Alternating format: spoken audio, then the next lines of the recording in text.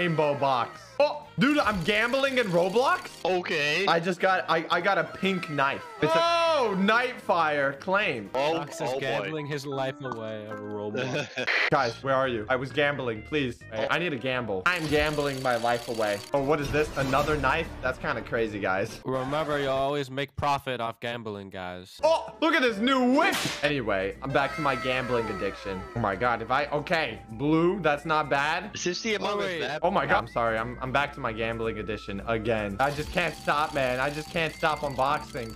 Everyone's a fan of this hair and my extreme gambling addiction. If I get one more comment, I'm gonna be upset. Me and Grandma have been talking uh, like your Yeah, gambling we ain't addiction. been- What's wrong with my gambling addiction? I don't think it's, it's healthy, you know? It's very healthy. I'm spending all my money and I'm getting nothing in return. We want to help you, man.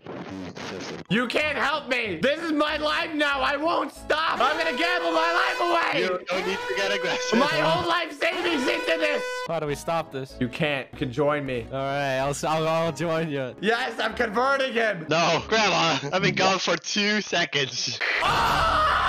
I did it. My gambling paid off. I got an NFT virtual oh, art. Oh, wow. This is crazy, oh. guys. I got the legendary.